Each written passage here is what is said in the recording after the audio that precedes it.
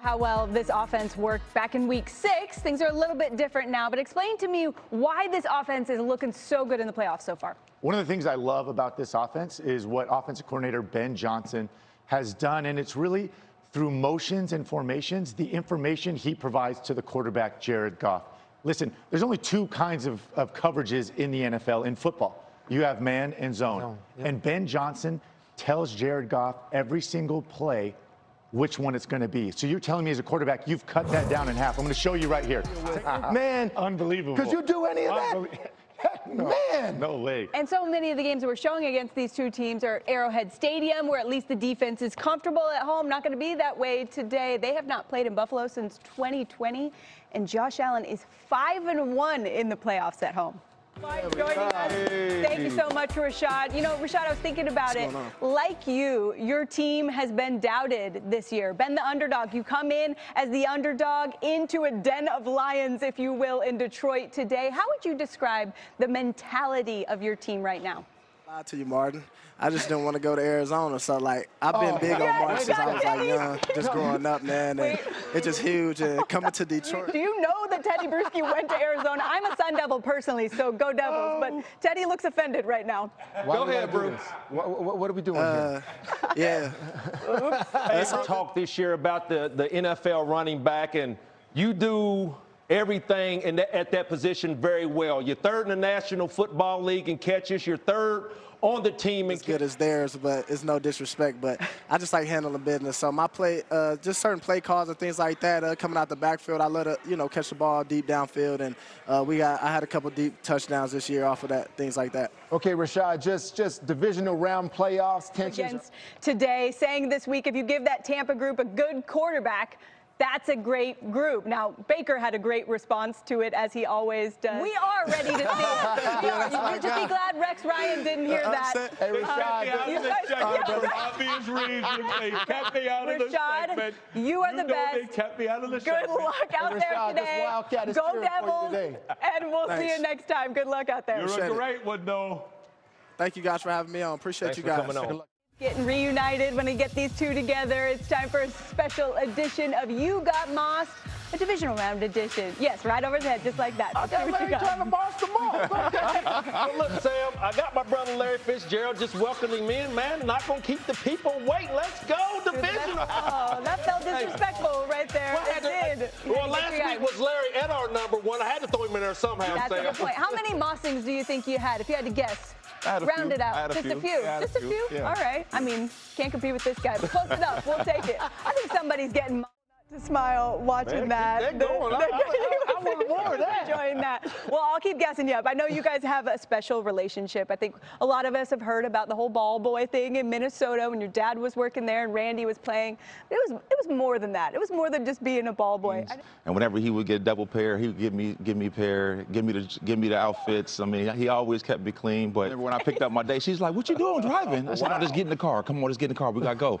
And uh, good thing her parents didn't come out to see, but. Uh, but it was it was beautiful. All right, let's talk about. We could sit here talking about old stuff all day long. We'll keep doing that in the break. But for now, let's talk about the wide receivers that we're going to see this weekend. I think it's a really, big day today. I love okay. two of the greatest to ever like do it, giving love to these young receivers. But let's talk about some of the DBs they're going to be up against. Randy in a good mood today. His 27th birthday, like Randy said. That Hold on, Sam. That, stop yep. running. You, did you hear him tell Tyreek yeah. Hill to stop running from him? But I remember a couple guys. Like I, I'm, I'm actually glad you brought that up because I am curious. Probably the most important question I'm going to ask today. The corner corner you most hated playing against? You go first. oh, man. Uh, and, uh, he's definitely one of those guys that always let you know how he felt. Yeah, he's still letting yeah, us know. Yeah. Uh, Randy, Larry. so, uh, but I always, I always love competing. But that's my number one nat right there, Darrell. The number one nat. That is a sign of respect from one of the greatest of all time. I just got to say, I love Larry telling us how generous you are and how generous you've always been. Because we're doing a group dinner next week, and I think one time it didn't go well. Yeah. Okay, it doesn't always work that way for me. Y'all leave me alone. We love you. We love you, and we're going to talk more with you when we come back. Still to come on Count. You guys, Kimberly, Lions fans excited about that, and we are excited about Game Breakers. Oh, oh, they got to get warmed up for this. Okay, it's the only segment they actually have to stretch out before they do it. Alex, what do you have for us today? Oh, Teddy, I got something for you right here. Get out! Like Enjoy the outside bag! Still to come on Larry, you get to go first. Let's start on the Bucks and Lions. Who are you taking? I'm going with the Lions. I'm going with the Lions. Man, I love this Lions team. It has been so much fun. Seeing Rex get fired up for his son, the wide receivers coach there. I feel like family. I really want to root for this Lions team today, and I will.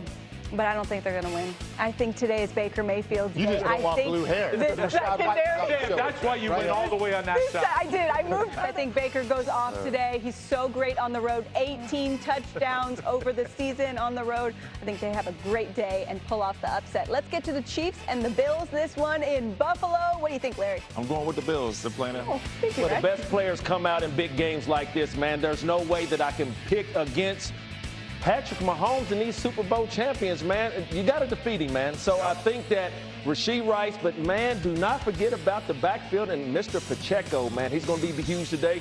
Give me the Kansas City Chiefs. That's what I'm like. Offense wins games, defense wins championships. Is that what they say, Rex? They do. Uh, the Chiefs got the better defense in this one. I like them going on the road. I think, again, they've heard the noise. I think they answer the bell and get the W today. How consistent have the Chiefs been all year in terms of back-to-back-to-back performances where there hasn't been a mistake, there hasn't been a penalty by a defensive back, or it hasn't been a penalty by a right tackle in a critical situation? I think tomorrow we're talking about old problems that couldn't be fixed by the Chiefs. I think we're going to see them today. I'm going to go with the Buffalo Bills, the home field advantage, and just I think they're just more more stable right now. I know stable with Josh Allen. Yeah, there you I know, I know. I know, but I'm going with Josh Allen and the Buffalo Bills. I think Josh gets way too much hate. This is a guy who's been really special this year. As Spags talked about trying to bring down a bear, I think they will struggle tackling Josh Allen today. Although I was a little nervous when you were talking about Patrick Mahomes and what happens to him in the playoffs. He's never seen Bills Mafia in Buffalo. I think that's going to be a factor today. And the Bills get the win at home. Rex, I appreciate you telling everybody I was 9 and 1 over the last 10. I was probably 1 and 9 the weeks before that. But we all do our best. And we're going to see our very best tonight on NFL Prime. Cleo, for me, how's this one going to go? Is, do you see it high scoring, low scoring, close? What are you thinking? Oh, no, I think it's definitely going to be high scoring. Both these offenses can go. Bad matchups for the defense. Detroit, though, man, keep Baker in the pocket, make him pitch it out of a, out of a well. That's what you did the last time you played. I think if you do that, you got a great chance. Teddy, you got a final thought for us? I think, yeah, getting to Goff for the pressure is Yeah. key for the Tampa Bay Buccaneers. Like I talked about that delivery, just one little touch on that arm. You're going to give me, show me that long delivery. Just give me that long delivery. I got it. give me that long delivery, man. Because he's trying, he's trying to get to tips and overthrows. Got to get those. Take